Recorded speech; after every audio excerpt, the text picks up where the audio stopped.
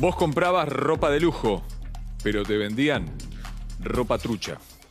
Viste que muchos emprendedores venden ropa en departamentos. Esta forma es más exclusiva, también ofrece un poco más de seguridad, además se evitan los altos costos de los locales. Hoy te vamos a contar la historia, contar la historia de una marca que vendía ropa importada en un edificio de Puerto Madero. Alicia moró de justo al 700, a escasos metros de, las torres más lujosas que tiene la ciudad de Buenos Aires.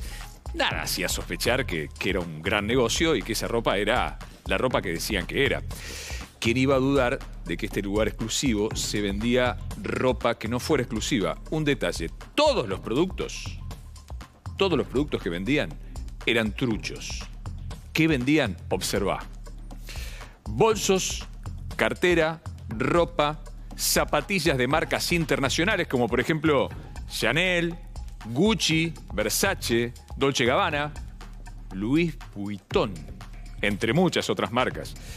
¿Cómo la vendían? A ver, tenían un perfil en Instagram que llegó a tener más de 50.000 seguidores. Acá está.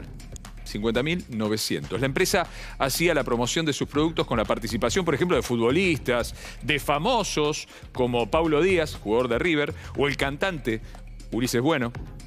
Para obtener la dirección, más seguridad. Los compradores debían concretar una cita por un número de teléfono que figuraba en el perfil de Instagram. Podían pagar en efectivo o en tarjeta. Todo perfecto. Todo un negocio legal. ¿Quién los denunció? Abogados de las empresas, algunas de esas marcas que están en nuestro país, que se dieron cuenta de que que los productos promocionados no habían sido fabricados ni supervisados por ellos, porque claro, no eran productos originales.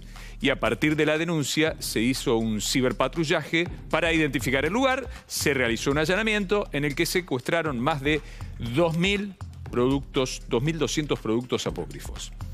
Una aclaración, la ropa no era original, pero sus valores estaban cerca de lo que pagarías por los originales para, claro, nadie podía sospechar de que era falso. Ropa trucha, dos precios no.